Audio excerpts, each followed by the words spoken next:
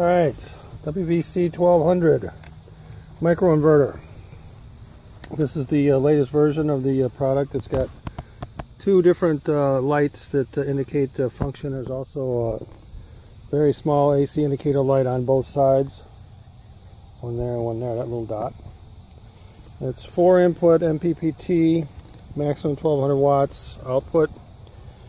I've been working with these for about two and a half years now and I originally planned on going away from them but actually they, they do what I need to do for the most part and I'll explain that to you here in a minute. We're going through a, uh, an expansion of our array. We've got six panels installed against our 12 that we originally deployed about a year and a half ago. The first set of panels are um, Talesun 290s and they performed pretty good. They're um, decent construction. Uh, rated at 290 at STC. The I've got one inverter underneath these four panels. Underneath the inverter is right about there. And they all plug into it, one, two, three, four. Same thing with these four inverter, uh, these four panels. I've got an inverter right there underneath there. And the same thing with here. There's an inverter underneath here feeding these four panels. They all jumper together and they're buried in the ground. They go over to feed the house. Now, observing the performance of these inverters, 290 times 4 is not quite 1200. It's 1160 watts. Um, the, the best performance I've seen out of three inverters is 3000 watts. So it's a little bit less than the 3600 I expect. But the panels are not rated for 3600 watts, so decent performance. Now, that's the upside. the downside is they're uh, passively cooled, so on warm days, even though they're underneath the panels and shielded from sunlight, they do kick off every once in a while when they, they hit a, a temperature threshold, and then you're not making juice. So that's the downside. Uh, another upside though is they do MPPT per panel so it tries to, they try to extract the most efficiency out of each panel individually instead of a group of panels, which helps it a lot when there's shading, which I don't usually have shading. I keep things pretty clear in here, although I've got a little bit of trimming I need to do. All right, this is in service a second generation WVC 1200. One thing I learned about these is if I take panel A here and I plug it into the first set of inputs, I could see with this panel, I think I saw somewhere in the neighborhood of about 180 watts. Um, it was not 100% uh, insulation, it was a little bit overcast. I was uh, happy with 180 watts. I plugged in the second panel and then I saw a maximum of 260 watts. So I don't know if the problem there is with the panel or if it's with the inverter itself. I've got to do some A plus B plus C plus D matching and seeing if the inverter is not matching output on each of the four inputs or if the panel is not putting out if the if the if these four panels are not putting out the same uh, wattage per panel. They should be. They're new. These are 320 uh, watt panels uh, yes, 320. And it's rate, the, the inverter is rated for 1200 watts, so 320 is actually overdriving it, but you're never going to get anything close to 300, 320 watts. You get closer to about 280 watts per panel on a 320, and that the inverter will certainly handle 280 watts per input. now, the first generation in inverters, they only have one indicator light to tell you the status of the inverter, which is fine. The other inverters have two but um, not a big deal. Another thing about these inverters is these connectors tend to break off and that's that's just under normal use. Um, obviously this is going to cause for concern because that inverter will get loaded up with water and you can see they're they're broken. All right, another downside to these inverters. Um, the first three that I ordered they came from China. And shipping wasn't ridiculous. It took a week and a half or two weeks. Nothing crazy. Um, but all three of the inverters in, in about the first month, they all went bad. one of them was putting out 30 watts maximum. Another one was not communicating with my um, data logging software. And the third one was putting out 26 watts. So I had to ship them back to China. And that cost a little over $100 to do that. Then they wanted import fees on the, on the way back when they shipped them back to me. The, the people that fixed them wanted me to pay for the shipping, which I wasn't about to do because they were defective from the factory. In the meantime, I purchased another inverter to have for future expansion.